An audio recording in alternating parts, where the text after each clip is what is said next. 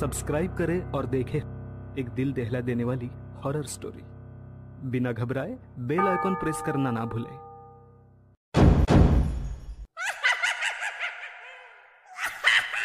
इस कहानी के लेखक है विजेंद्र कुमार कर्ण।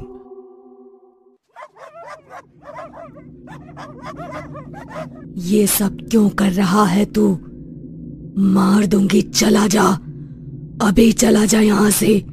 तुझे पता नहीं तू क्या कर रहा है?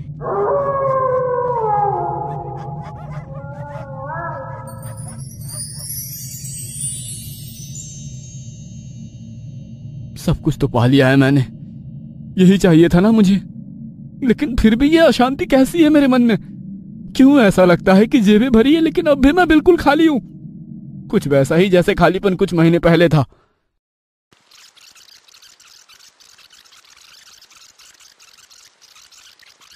कुछ दिनों पहले की बात है। शहर की सबसे पुरानी लाइब्रेरी में रखी एक किताब पर सूर्यकांत की नज़र गई। उस किताब के फ्रंट पेज पर बनी तस्वीर ने जैसे उसके ऊपर जादू कर दिया। तो बिल्कुल सम्मोहित सा होकर वो किताब पढ़ने लगा। दस बजे दिन से पढ़ने का शुरू हुआ। सिलसिला रात के नौ बजे तक चलता रहा। सूर्यकांत उस किताब में लिखी एक एक लाइन को जैसे जैसे पढ़ता जा रहा था। उस किताब के प्रति उसका आकर्षण बढ़ता जा रहा था। रात के नौ बज गए थे। इसलिए दो तीन और लोग ही उस समय लाइब्रेरी में थे। लाइब्रेरियन बाहर बाहर लाइब्रेरी की टिक टिक करती बड़ी सी पुरानी घड़ी को देख रहा था। उसका बस चलता तो वो खुद घड़ी के कांटों को अपने हाथों से बढ़ाकर साढ़े नौ बजा देता। क्योंकि साढ़े नौ बजे लाइब्रेरी के बंद होने का समय होता है। लाइब्रेरियन का घर यहाँ से बहुत दूर था, और वो चाहता था कि जल्दी से जल्दी घर पहुँचे, क्योंकि आज उसकी शादी की सालगिरह थी। सूर्यकांत किताब में खोया हुआ था। तभी उसकी मोबाइल फ़ोन की घंटी बजी। उसने फ़ोन की ओर देखा तो उसमें लिखा आ रहा था, नागपाल कॉलिंग। वह फ़ोन की ओर देख रहा था और सोच रहा था कि फ़ोन उठाए या ना उठाए। इतनी देर में लाइब्रेरी में जो भी लोग बैठे थे, सभी उसकी ओर घूरने लगे। लाइब्रेरियन का मूड तो पहले से ही खराब था। उसने भी सूर्यकांत की ओर गुस्से से देखा और इशारे इशारे में उसने लाइब्रेरी के उस बोर्ड की तरफ़ उसे देखने को कहा जिसमें लिखा था कि लाइब्रेरी में मोबाइल फ़ोन को स्विच ऑफ़ रखें या साइलेंट मोड में। सूर्यकांत ने आँखों ही आँखों में उसे सॉरी कहा और फ़ोन लेकर लाइब्रेरी के बाहर आ गया। फ़ोन रिसीव करते ही नागपाल ने सूर्यकांत को हड़काते हुए कहा हरामखोर! कॉल उठाने में इतनी देर क्यों कर दी? वो वो लाइब्रेरी में था भाई। भाई भाई गया तेल लेने। ये बता पैसे कब दे रहा है तू? थोड़ी मोहलत और दे दो भाई। जल्द ही पूरे पैसे चुका दूँगा। मोहलत मोहलत सुनकर मेरे कान पक गए हैं। पैसे ब्याज पर लेकर अयाशिया कर ली। अब पिछले तीन महीने से मोहलत मोहलत कर रहा है तू। कान खोलकर सुन ले। नागपाल नाम है मेरा। पैसे देना जानता हूँ तो हलक में हाथ देकर पैसे निकालना भी मुझे आता है। थोड़ा समय और दे दो भाई। आपको ऐसा करने की नौबत नहीं आएगी। सूर्यकांत फ़ोन पर गिड़गिड़ाने लगा। नागपाल ने एक महीने का और समय दे तो दिया, लेकिन साथ ही यह धमकी भी दी कि एक महीने बाद अगर उसके पैसे उसने वापस नहीं लौटाए तो उसके ऊपर वो तेजाब डाल देगा। नागपाल की क्रूरता के बारे में सूर्यकांत को बिल्कुल पता नहीं था। पिछले तीन महीने से वो अजीब से मेंटल ट्रोमा की स्थिति से गुजर रहा था। एक पल तो उसका मन करता कि वो कहीं भाग जाए। लेकिन नताशा को छोड़कर वो कैसे भाग सकता था? नताशा सूर्यकांत की गर्लफ्रेंड थी, और वह उसे अपनी जान से भी ज़्यादा प्यार करता था। ये बात नागपाल जानता था, इसलिए उसके आदमी नताशा पर हमेशा नज़र बनाकर रखे हुए थे। सूर्यकांत शहर के सबसे बड़े होटल में वेटर का काम करता था। हर दिन सैकड़ों अमीर लोग उस होटल में आते, और अपना समय बिताते। वो उन अमीर लोगों की लाइफस्टाइल से बहुत प्रभावित था। उनकी लंबी लंबी और बड़ी बड़ी गाड़ियों के ख्वाब उसकी आँखों में बस गए थे। वह भी उनकी तरह ही अमीर होना चाहता था।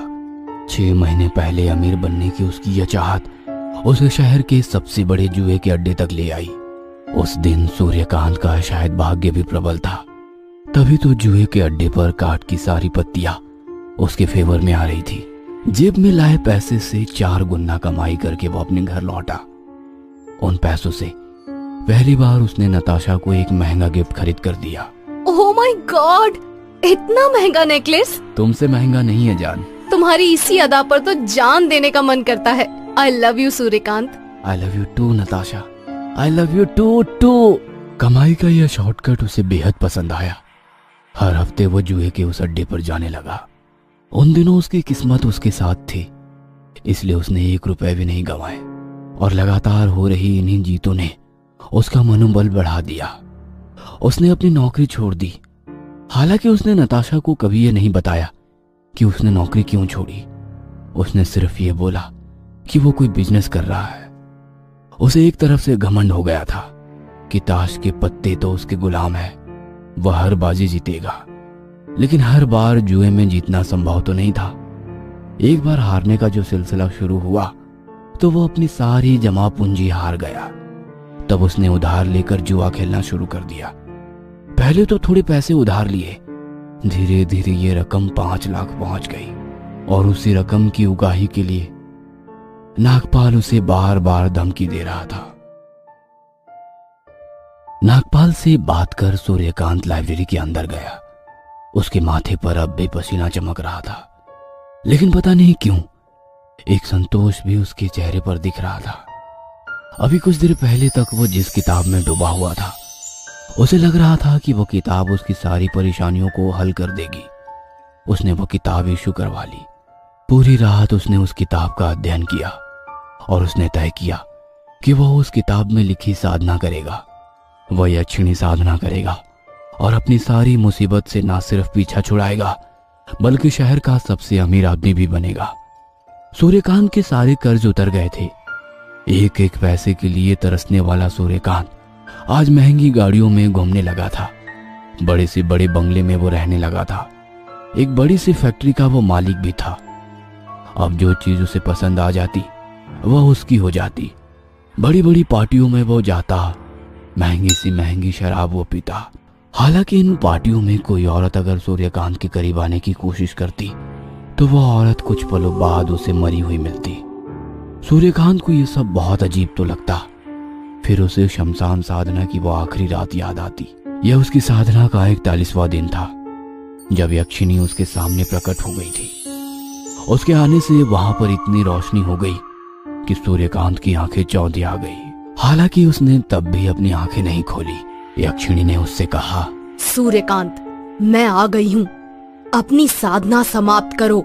सूर्यकांत ने जब अपनी आँखें खोली तो सामने खड़ी उस औरत को वो देखता ही रह गया। इतनी सुंदर औरत। ना तो उसने कहीं देखी थी और ना ही किसी से ऐसी औरत के बारे में सुना था। सूर्यकांत, इतना घूर कर देखने की ज़रूरत नहीं है। अब तो मैं हमेशा तुम्हारे पास ही रहूँगी।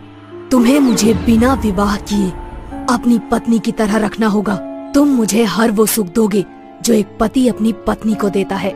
तुम्हें हर रात मेरे साथ कच्चे मांस और शराब का सेवन भी करना होगा। बदले में संसार की बहुमूल्य से बहुमूल्य वस्तु मैं तुम्हें दूँगी। और हाँ आज के बाद किसी और औरत को सपने में भी पास नहीं आने देना। नहीं तो मैं उसे मार दूँगी।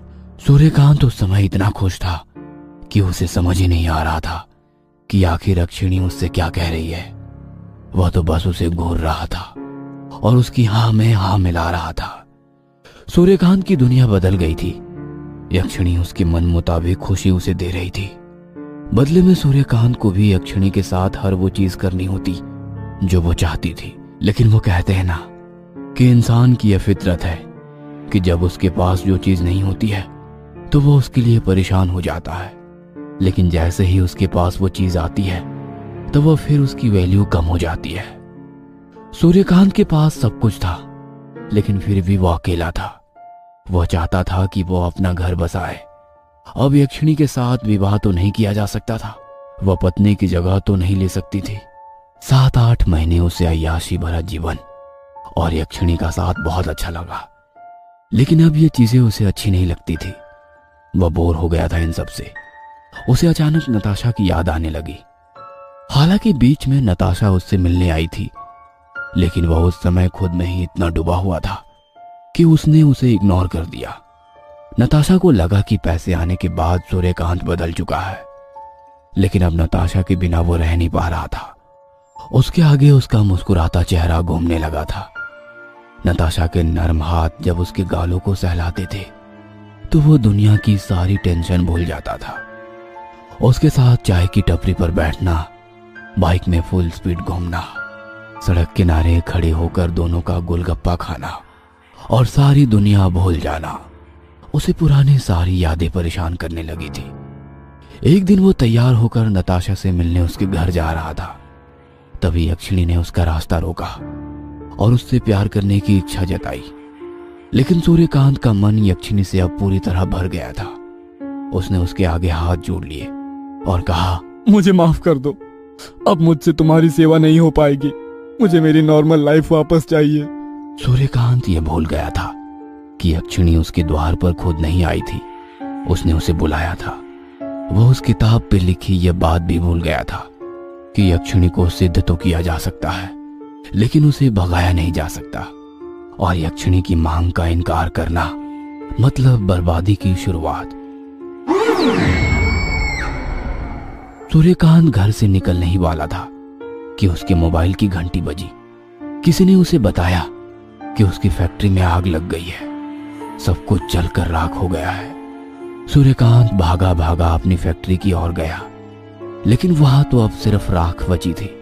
उसे समझ में आ गया कि हो या ना हो, ये सब यक्षिणी को किए इनकार का ही परिणाम है। लेकिन अब उसे उस फैक्ट्री का मोह नहीं था। बस उसे नताशा चाहिए थी। वह नताशा के घर पहुँचा। बहुत देर तक उसने उसके घर का दरवाज़ा खटखटाया। लेकिन किसी ने दरवाज़ा नहीं खोला। अचानक उसकी नज़र दरवाजे पर लटकी ताले पर गई। अरे, यहाँ तो ताला लटका है। लगता है नताशा कहीं बाहर गई है। वो वापस लौटने ही वाला था कि तभी दरवाजे का ताला अपने आप खुल गया। वह कमरे के अंदर गया। उसने जैसे ही कमरे में प्रवेश किया, उसकी चीख निकल गई। उसने देखा कि नताशा पंखे से लटकी हुई है। उसकी आँखें बाहर की ओर आ गई है। और उसकी गर्दन एक और लुढ़की हुई है। उसकी जीभ बाहर की ओर है। और उसी कमरे में यक्षिणी नताशा को अपनी बड़ी बड़ी आँखों से घूर रही है। सूर्यकांत ने आगे बढ़ने के लिए, तरक्की पाने के लिए शॉर्टकट का सहारा लिया। लेकिन अंत में उसके हाथ खाली के खाली रह गए। दोस्तों, तरक्की किसे पसंद नहीं? कौन नहीं चाहता कि दुनिया की सारी सुख सुविधाएँ उसके कदमों में हो? लेकिन उसके लिए सूर्यकांत जैसे शॉर्टकट को आजमाने से पहले इस बात को गांठ बाँध लीजिएगा कि इसकी एक बहुत बड़ी कीमत आपको चुकानी पड़ेगी। बहुत बड़ी।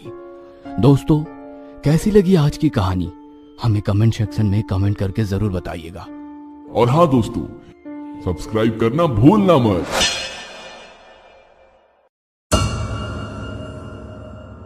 ये कहानी आपको अच्छी लगी हो तो हमें सब्सक्राइब करें।